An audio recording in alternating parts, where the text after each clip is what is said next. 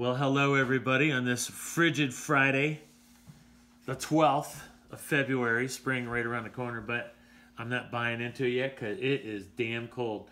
I'm not complaining though because I got my friends up in Canada who are looking at negative 40 and negative 50, and I think we're at like 3 degrees, but supposed to be like negative 15 overnight tomorrow, which is exceptionally cold and allows me to give myself an excuse to work exclusively inside at, at the computer and take care of things where it's much warmer than in my shop. So, what I'm going to do today is kind of work with you guys on a bass uh, that I had designed and is actually ready for paint at this point in time. And um, it will be um, probably warm enough to base it out. Gosh, I don't know if it's going to hit today, but uh, as soon as I turn the fan on in my booth, it pulls all the heat out of the shop. Uh, it's pretty defeating at times, but uh, I'll probably be filming the airbrush work on this one uh, in the near future. But what I wanted to share with you guys was um, this particular paint job, uh, what it is, and how I went about it. Now, when I when I actually did the conceptual work for this uh, bass, I actually did it uh, in scale. So uh, it's one to one inch, one inch to one inch on the scale as far as the reference of drawing. So, um, actually, will be utilizing the mask that I cut right from this right onto here. So, first thing I did on this was, you know, evaluated what I'm going to be doing. Obviously, freehand, what's going to be laid out with masking and so forth, and and all that stuff. And if I go up here to um, wireframe you can see that I basically had gone in and redrawn the vector elements uh, for this. Fortunately, I had a font that was pretty close to the one that was on the image. I did have to use uh, the um, freehand tool uh, to work this part of the image here, this stylized buffalo. And you can see as I am in wireframe, uh, wireframe mode that none of this image of the buffalo actually shows up. So I'll go back out go to normal or enhanced. You can go to enhanced in Corel Draw. Um, and for this one, I'm just because I'm just going to be doing all this freehand. I think what I'm going to do, I'm just going to take this mask. I'm going to duplicate it. I'm going to pull it over here. And this is actually a vector path that this rasterized image is trapped inside of. So what I'm going to do is extract that Uh, let's see, where is that? Tools.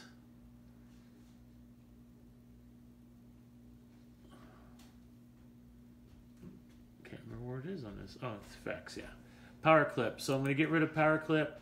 I'm going to extract, extract the content, so it's going to be the actual photograph that we're working from. You can see what's left behind is the actual spline of the vector. And I actually use this particular path to cut the perimeter shape of this body on this whiskey. So what I'm going to do now is I'm going to click on this and first I'm going to edit this. I'm going to take this out into Photoshop or, or Photo Paint and Corel Draw and then I'm going to turn this into a grayscale and finally a um, black and white image. So I'm going to go adjust or no, image, convert to grayscale. And there it go. It gives me like grayscale. Went right into the grayscale mode. You can see this is really rough, really pixelated. So I'm not expecting to get much out of it, but let's see what happens when I go to black and white. And I can work with the curvature on this a little bit. As far as the threshold.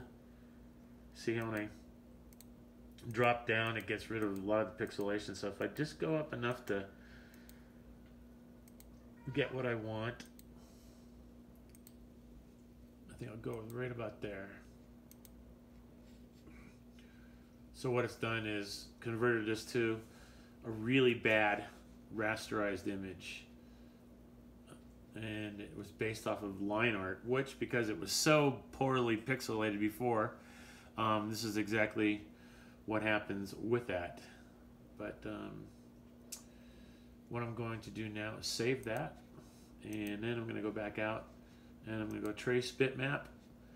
And this one I'm just going to go line art so I can do some curve adjustments on that as well. Pick some, uh, black and white, one, I'm going to go one color. And smoothing, you can see how it wants to smooth it all out.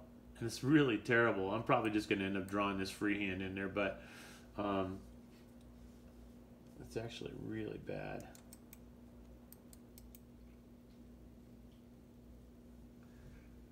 And you can see how poorly detailed this would be as a mask and how virtually useless this will be for me. But um, I'm going to mess around with the smoothing details a little bit, see if I can't tweak it a little bit, but I have a suspicion that's about as good as it's going to get. So I'm going to go ahead and hit enter on that, and it's going to bring it back out into Corel Draw for me. I'm going to ungroup it, and then I'm going to move this over here. Now what I did was I duplicated all the elements on here so I didn't mess up anything in particular and was able to retrieve anything should I make a mistake. I can obviously hit Control Z as well, but I find it obvious. It's a little easier just to duplicate elements you're working on so you have the, the original ones off to the side. Let's go view wireframe here and we'll see what a useless translation that was to go from uh, vector.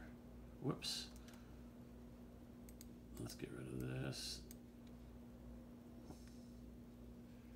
Yeah, so what it's done is really just made a big mess for me. I will take this, look at this, zoom in, see, there's really nothing there that even resembles a buffalo. Um, I can't find, well, maybe it's because the guy gave me a different name to put on this.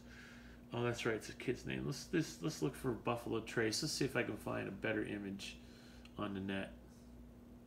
Obviously, you don't need to put this out while I'm searching.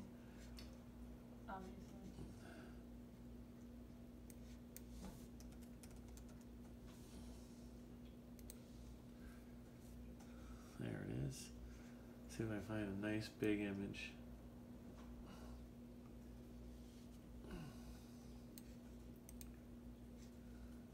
That's a pretty decent sized one.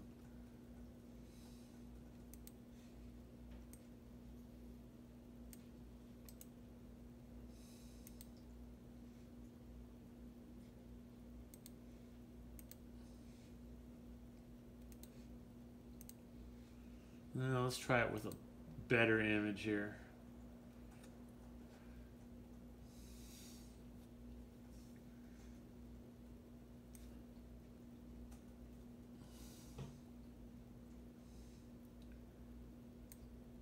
Buffalo Trace.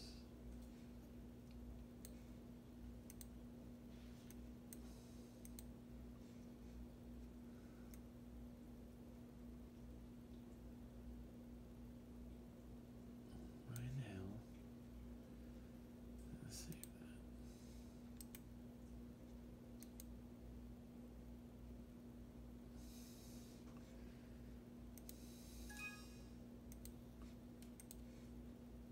So it's PNG file. So I'm going to go back out here and I'm going to import a PNG file specifically. So I have to look through all these files here.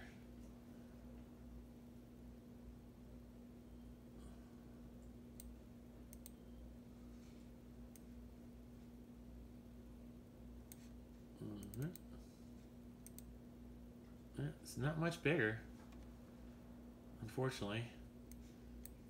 Well, I was trying to do it 34 inches too, so let's see if we can do this then. Let's take this one. I'm going to edit this bitmap. And I'm going to go out, turn it into a grayscale.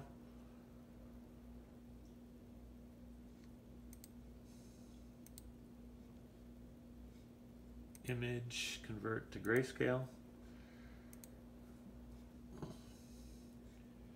Yeah, that's much better, much better. So from here, I can do a couple things. I can adjust brightness, contrast, and try to get a little bit more darks in there.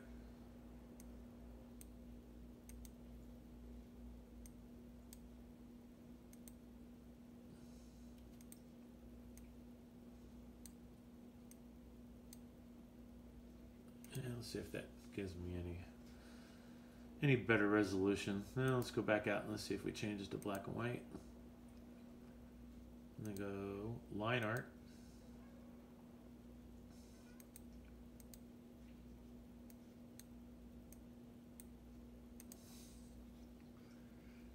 Alrighty, then I hit save, and that will go back to Corel. And that'll give me all the adjustments I just made. And then I'll go hit uh, trace bitmap with line art. Zoom in on this, see what it's looking like. That's better. So what I'm going to do is I'm going to take that and just hit enter. Now I'll have this as a, a loose reference uh, positioning for the uh, masking on the buffalo here and the rest of it will be done with vector as we've redrawn it inside the program.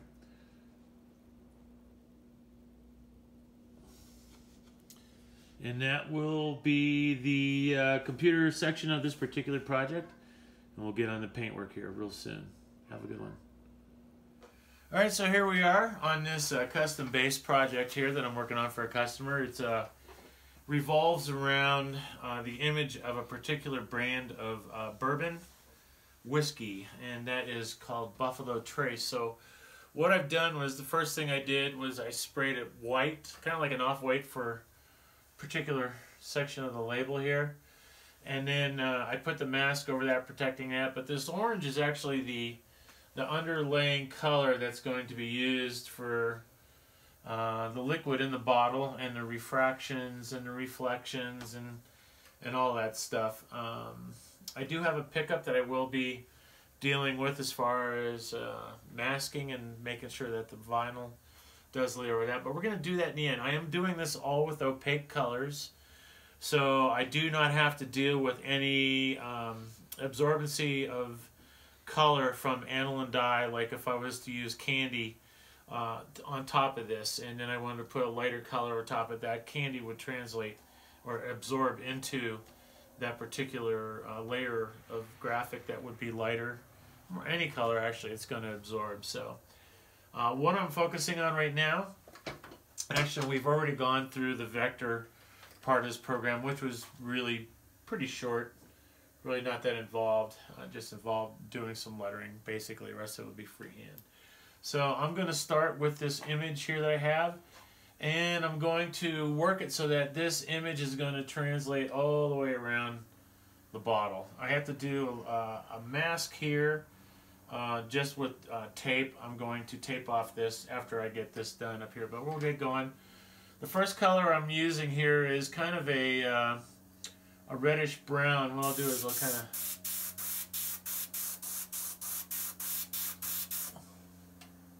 spray that up on there and I'm going to be working that from this direction over here. It looks like the light's kind of like coming in right in this area here. So that's what we'll be doing first. And I'm going to have to put my respirator on. Here we go.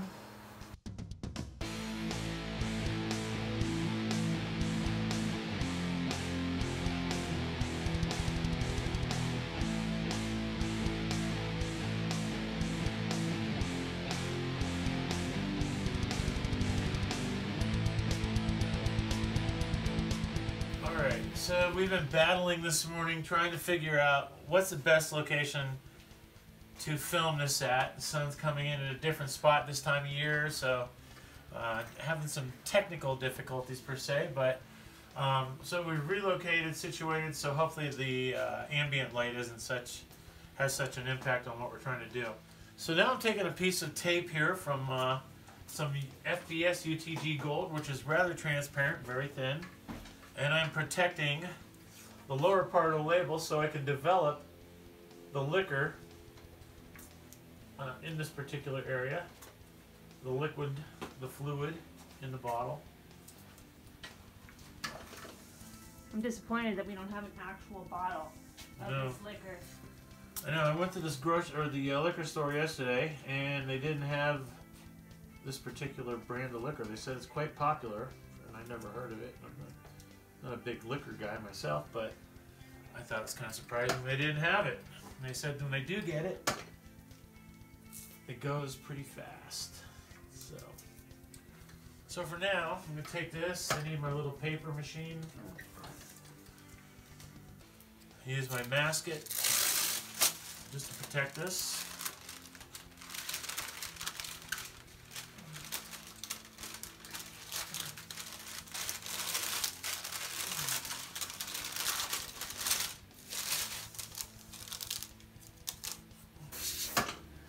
So now I am focusing on the bottom portions here and some of the development of the fluid and the shading that's going to go along with the refraction.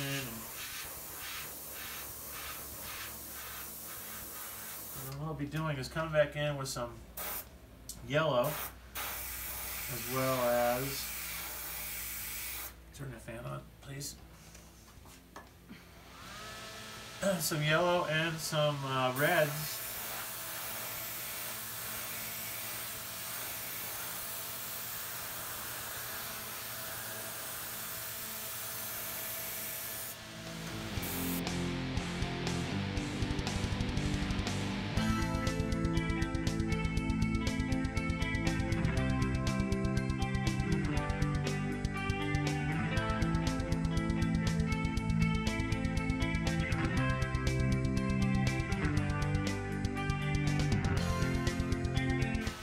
Now I've got some yellow loaded up in my brush. I'm to start focusing on a transitional light from here to the left or to the right.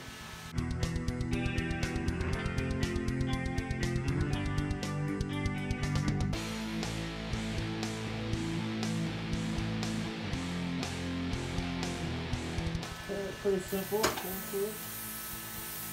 a light fade. Just a light fade through there. Little back up top now.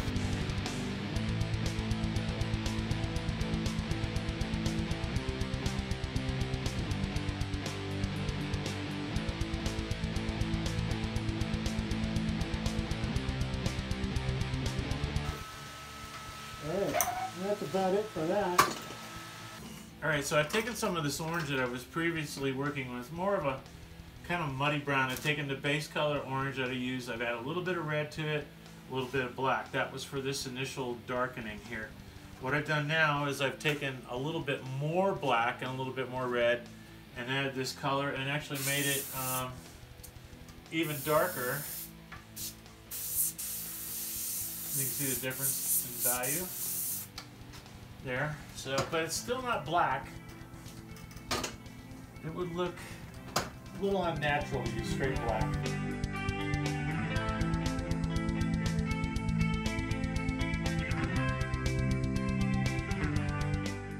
What I'm going to do next is I'm going to do some of the shaping uh, that appears on the label as it kind of like goes around the sides. And that's basically going to be done with this first color that I messed with.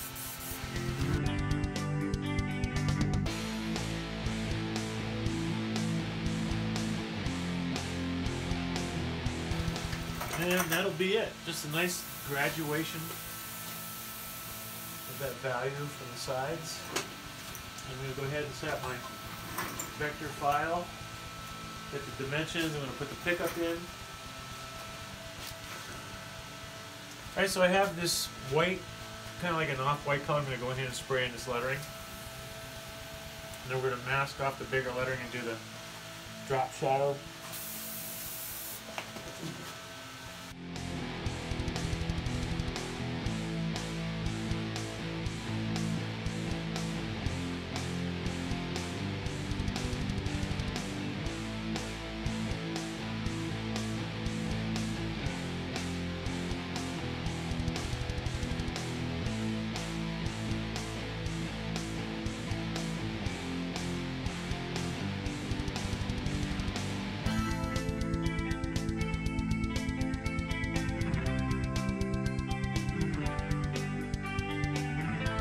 Okay, got all the masking, the counter masking, I got the drop shadow pulled.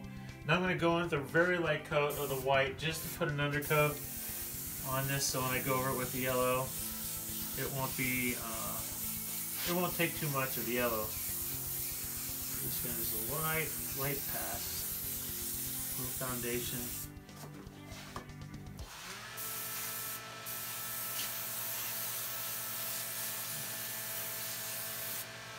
And then I can take my yellow.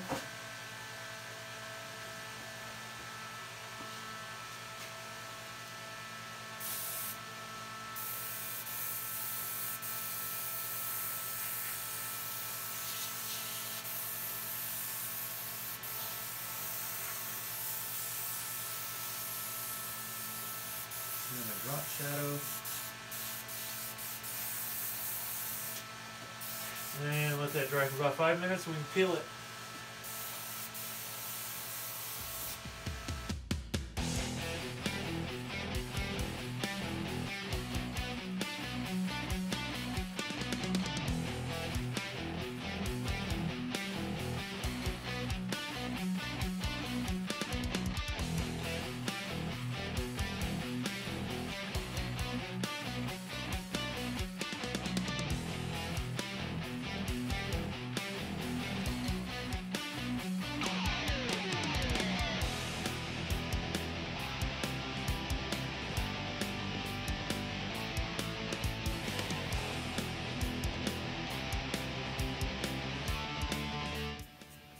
I'm going to get my reference image and I'm going to pencil in the uh, buffalo.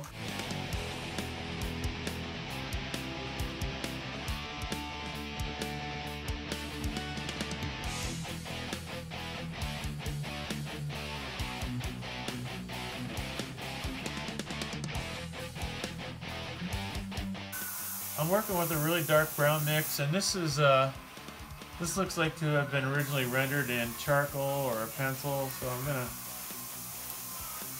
kind of give it that feel to it as I'm rendering it.